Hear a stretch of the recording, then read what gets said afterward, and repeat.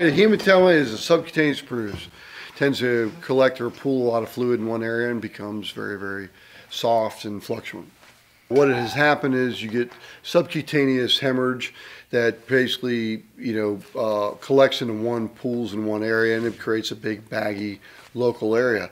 Uh, hematoma can be, you know, underneath the skin from an injection, but it usually is more commonly due to an area that's been traumatized and create a lot of, a lot of subcutaneous hemorrhage.